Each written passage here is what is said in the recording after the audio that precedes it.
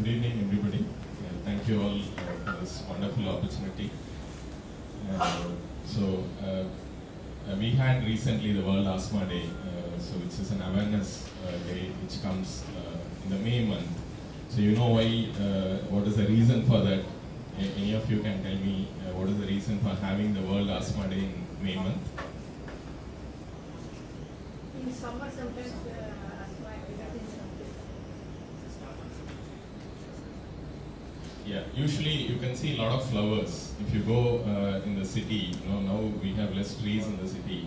So uh, all the trees will have a lot of flowers. So you'll have pollens around. So all over the world, you know, this is the pollinating season. So the asthmatics uh, get triggered. So they get more symptoms during this season. So that's the reason the GINA, so the Global Initiative for Asthma Management, the GINA is a global uh, committee. Uh, so they actually have kept the particular uh, month of May for uh, World Asthma Day.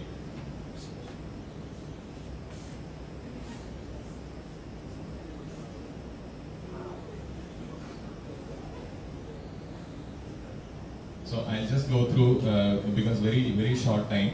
So I'll just go through some of the advances in the management of asthma. So uh, all of you know that asthma is a variable disease. So it affects uh, a person now and then. So it is not a continuous disease. Uh,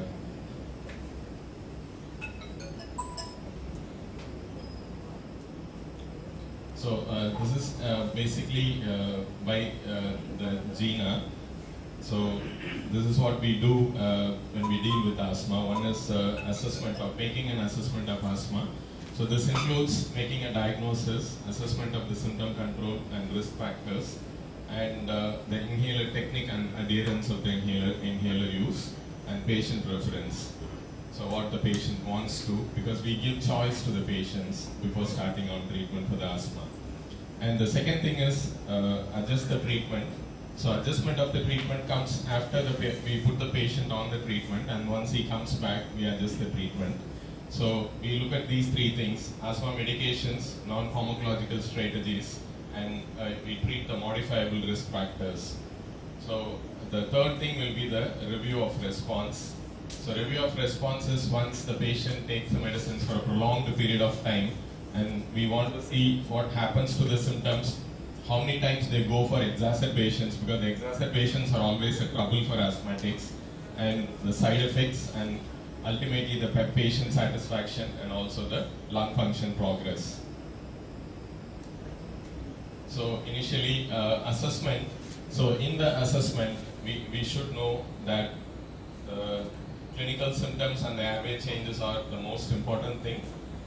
Uh, so basically, the clinical symptoms, as you all know, it will be breathlessness, cough, wheeze, and chest tightness.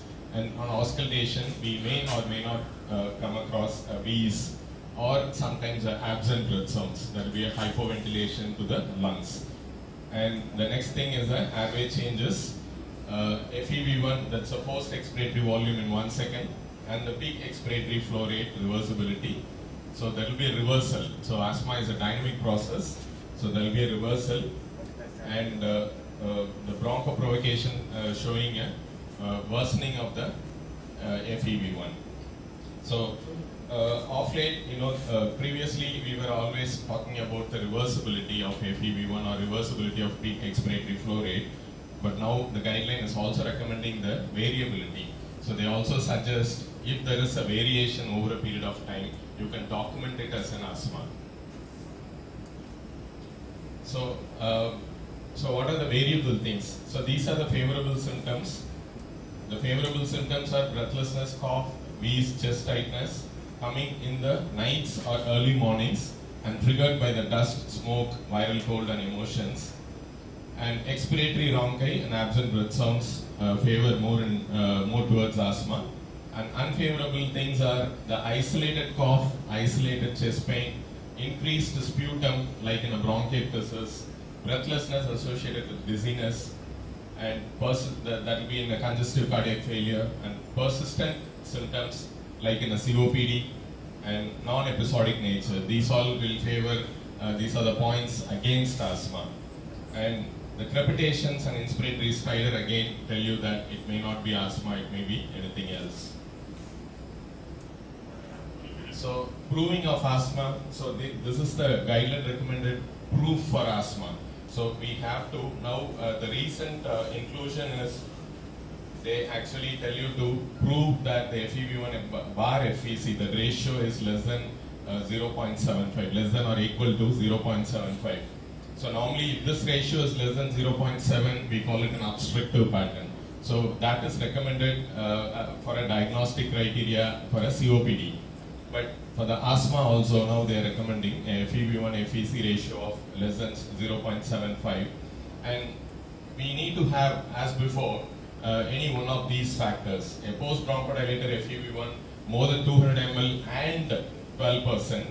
And now they also include this uh, second thing. You can just put the patient on an inhaled corticosteroid and after four weeks if we repeat the FEV1 if there is a change of more than 200 ml and 12 percent we can brand it as asthma.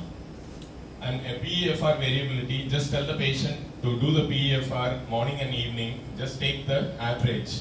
So, so we have to take the uh, average of highest minus lowest divided by the mean of the day, days into 100. So if that variability is more than 10%, again we can brand it as asthma. And between visits, more than 200 ml and 12% of FEV1. So this all talks about more of doing a spirometry or at least a peak flow, uh, peak flow rate for diagnosing an asthma. So these are diagnostic problems. The clinical symptoms do not always go with the airway changes. The airway changes can progress in a different uh, pace and the clinical symptoms can be different for the patients. So there are patients where you don't, uh, you cannot prove a reversibility and but they will be coming often with symptoms to you in the clinical practice. And another factor is the patient is already on a treatment. When they come to you, they'll be using so many inhalers, tablets, and all that. So difficult to document a reversibility or an obstructive pattern for those patients because they are already on a bronchodilator. And the third thing is nowadays we see a lot of overlaps. So recently uh, the term ACO has been included, asthma COPD overlap syndrome. So because the uh, now people are exposed to a lot of dust and smoke, so the asthmatics who are uh, exposed to all these risk factors from the beginning, they may behave like a COPD. So that that's uh, that's how they have found out the new phenotype that's an asthma COPD overlap syndrome. So when the patient approaches us, if the patient has a clinical symptom suggestive of asthma and the clinical findings suggestive of asthma, then we perform a spirometry or a peak expiratory flow reversibility. If the result is supporting asthma diagnosis, we treat it for asthma. And if, sorry, if uh, the patient doesn't have a clinical, classical clinical history or findings suggestive of asthma, so we have to look for an alternative diagnosis like a COPD or uh, bronchiectasis, other airway problems. If we are able to prove the other problem, we can treat for the alternative diagnosis. And not able to prove, then we have to wait for some time and then repeat the spirometry on another occasion, try to prove it again. So maybe three weeks or one month later, we can do a spirometry again and try to prove that. And if uh, we are able to prove at that point, then we can start them on treatment. And there are occasions uh, when we have to put them straight away on the treatment for asthma. Maybe the patient is presenting with an exacerbation for the first time. Then we may have to put them on treatment for asthma initially with the inhaled corticosteroid, which is the mainstay of treatment. That is the anti-inflammatory treatment. So uh, normally we look at the asthma control. So how do we assess the asthma control? We have to look for these four factors. So daytime symptoms, any nocturnal awakening, and the reliever need, uh, need for the patient, and also any activity limitation. So out of these four things, so we have to look, ask the patient in the last four weeks if they had any daytime symptoms more than five, uh, two, two times a week, or any nocturnal awakening, or the reliever need was more than two times a week, or if the patient had any activity limitation. So if any uh, one of these things or two out of these things are there, it is a partly controlled asthma. If three or four is positive, then it is an uncontrolled asthma. None of these things are there, the patient is well controlled. So this is a very simple clinical assessment when we uh, uh, we make when the patient come to us with the inhaler treatment. So we uh, we put them into uncontrolled, partly controlled, or well controlled. And now the guideline has separated the lung function as a different uh, uh, separate criteria of control assessment, and they say it's a future risk. It talks about the future risk. Somebody ha- has a progressive obstructive airway, then they are going to do badly in terms of exacerbation. So those are the patients who may need a step up of treatment in addition to the symptom control. So the asthma control is more important than the asthma severity. So I'll just tell you in a slide or two uh, what is the difference between the two. So they are not actually equal. The asthma control is not equal to the asthma severity. So achieving a good asthma control will improve the quality of life. So here you can see the asthma control. We uh, brand them into well controlled, uh, partly controlled and uncontrolled. And the asthma severity is actually the amount of treatment required to, uh, to uh, uh, bring the control. So here you can see the asthma severity, mild, mild asthma. They are well controlled on step one and step two treatment. And moderate uh, asthma patients, they are well controlled on step three treatment. And severe asthma severity patients, severe uh, uh, se- severe asthma patients, they are well controlled on four and step four and step five. So based on the requirement of the amount of medicines, we tell the we call the severity. We are not bothered about the severity, we are bothered about the control. So we have to achieve the control, then uh, we are not bothered because the patient needs a good symptom control. That's the most important thing. So uh, symptom and uh, lung function they are separated. So they are not the same. So they are actually individually uh, seen as different different aspects. So for example, you have a sedentary lifestyle person who is not walking, who is not actually active. So he is not physically active. The symptoms may not reveal, but the lung function will be worsening. So this is one classical scenario where the symptoms are not going along with the lung function. So it doesn't reveal, it doesn't come up. So that's why the patient is not complaining because he's always sitting and you know watching TV and he is not in an active uh, life. So these are some of the risk of exacerbations, uncontrolled asthma symptoms, excessive reliever use. You may see patients using one uh, full canister of salbutamol in within a month. That itself is a risk factor. And in the beginning itself, the patient has a FEV1 of less than 60%. And if the inhaler technique is not correct, and if the patient is not adhering to the inhaler, this is very often uh, seen in our country. And exposure to smoking and allergens, ongoing uh, allergen exposure, like patient may be having a pet in the house, patient will say, no, no, I will not get rid of the pet. Pet is always required. No, pet will stay inside my bedroom only. So those kind of scenarios. And comorbidities like obesity and coexistent allergic rhinitis and G reflux disease. And eosinophilia is again a risk factor, sputum eosinophilia as well as uh, blood eosinophilia. And pregnancy, obesity, psychological and socioeconomic status. So these are the risk factors. And if the patient had been intubated even once in the lifetime, then it's a very high risk. So if the, those kind of patients can repeatedly go into such scenarios if they are not well controlled. And if the patient has more than or uh, more than or equal to one exacerbation in the last one year. So basically, these are the basic aims. We want to control the symptoms. We want to maintain the lung function. We want to prevent exacerbations because the exacerbations are very troublesome because they are economically they are going to take away the patient's money and also they uh, bring down the lung functions. So all these things exacerbations can do and reduction of the side effects because we don't want to use excessive medications for controlling the symptoms also.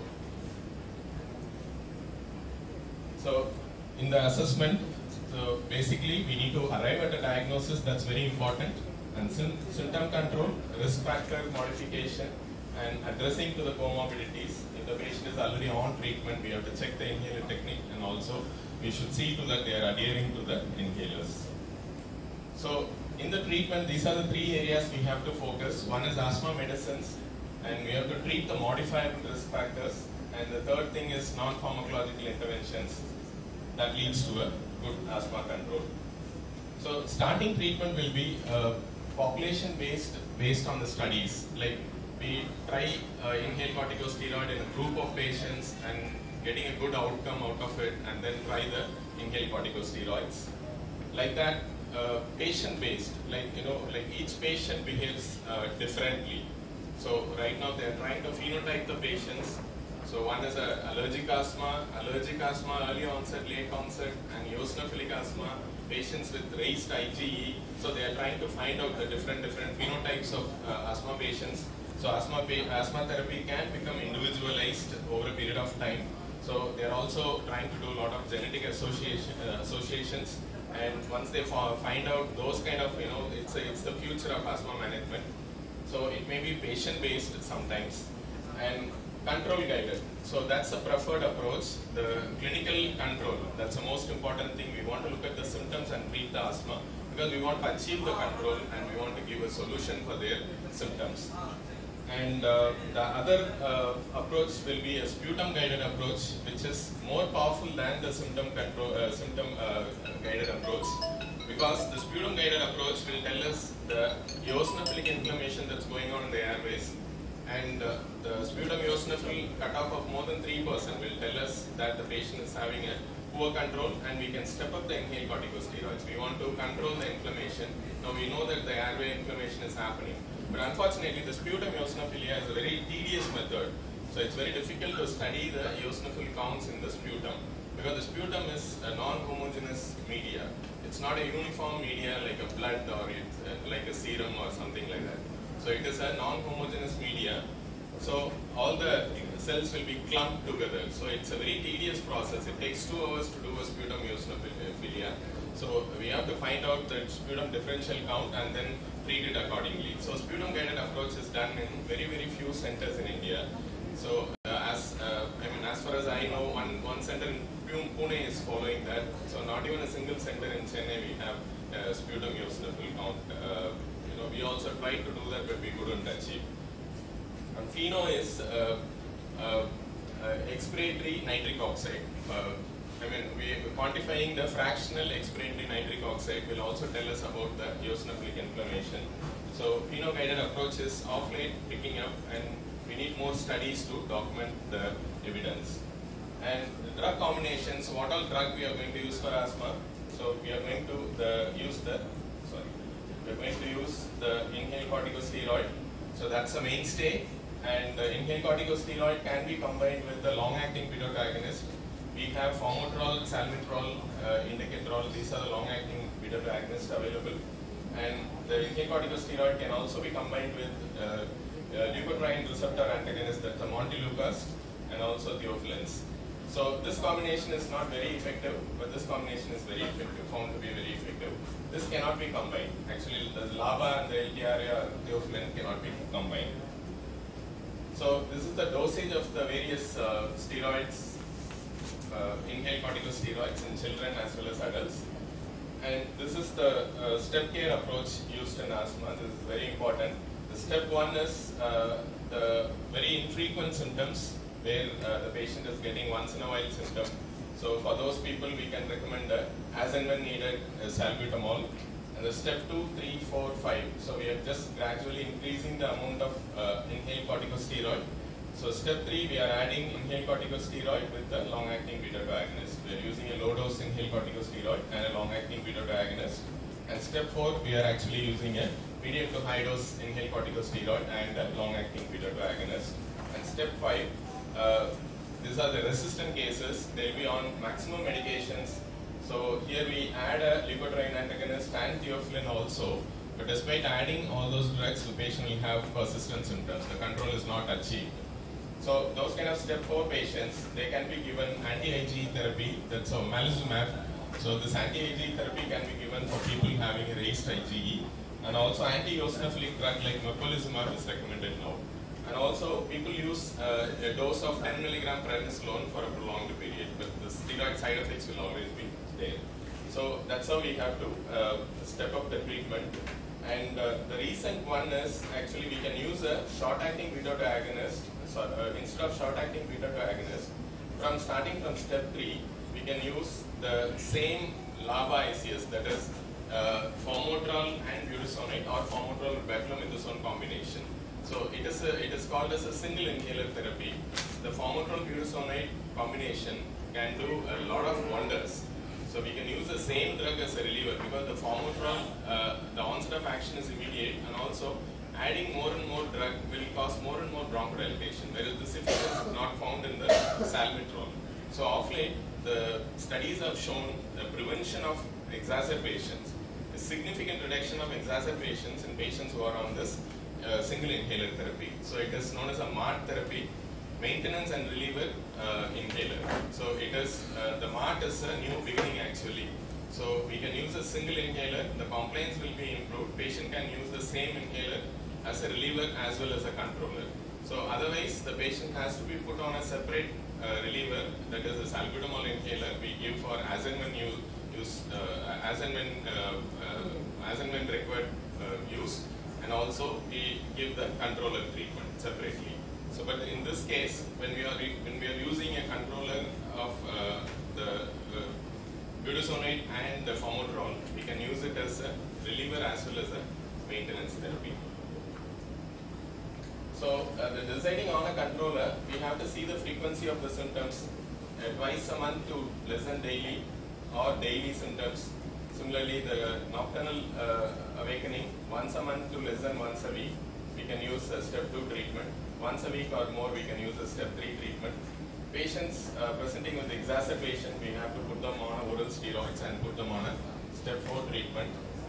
And uh, the previous columns, uh, plus patient has a exacerbation in the past one year, we can actually uh, put them on a step 3 treatment. So, so where all we have to use a low dose uh, inhaled corticosteroid, where all we have to use uh, medium to high dose corticosteroid plus LABA. So that decision is based on the frequency of the symptoms when they present to us.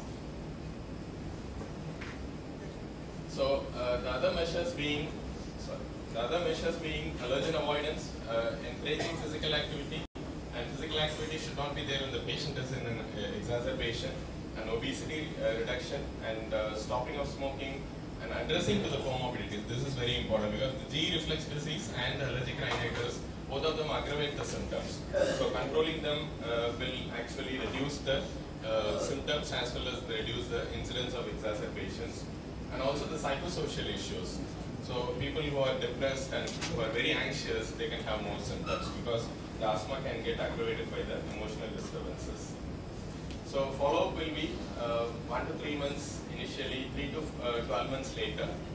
And uh, in case of exacerbation, the follow-up can be uh, in a week. And for pregnancy alone, the follow-up will be four to six weeks.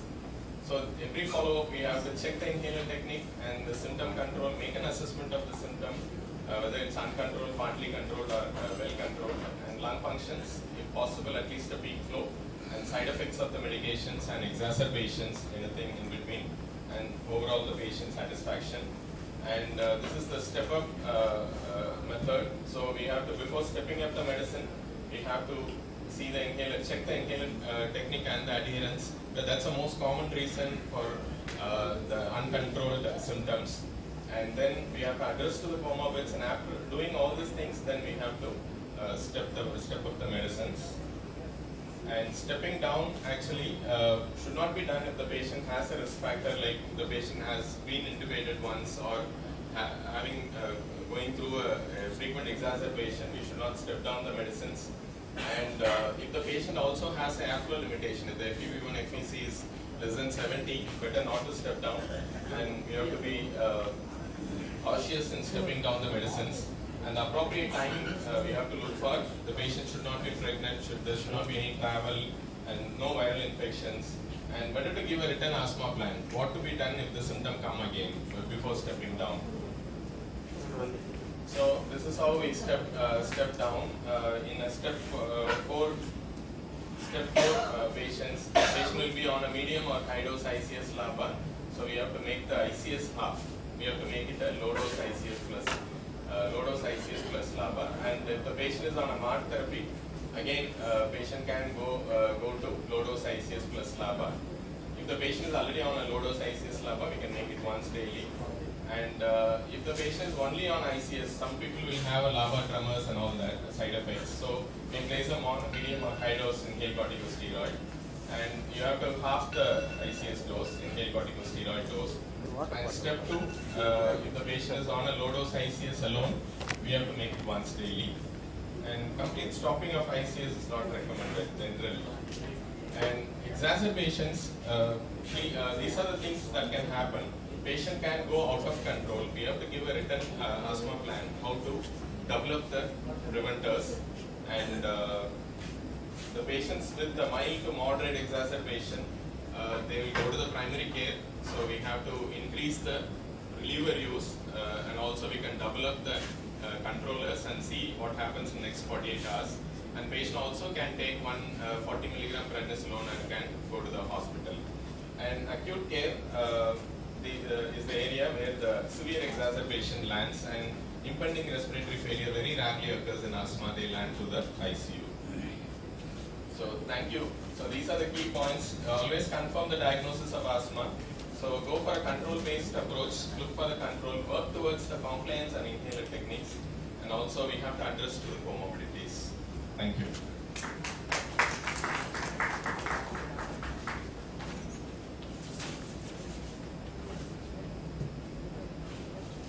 How long we can continue inhaling corticosteroid? So actually we can continue, if the patient has persistent symptoms, we can continue the inhaled corticosteroid even lifetime. There- There's no harm in continuing the inhaled corticosteroid for long, long period. So the only side effect will be they will have some voice changes because of the laryngeal muscle weakness. And also they can develop a oral thrush. So we have to tell them to uh, do the mouthwash after the uh, inhaled corticosteroid use. So Once that's. they get the symptom relief, can stop or we can continue for some more time? Is? Uh, that's what the stepping down will be uh, like if they are free of some uh, symptoms. We have to assess them every three months. The lung function is stable and the symptoms also coming down, we can uh, reduce, keep reducing it, keep reducing it, and some people we may be able to stop it also.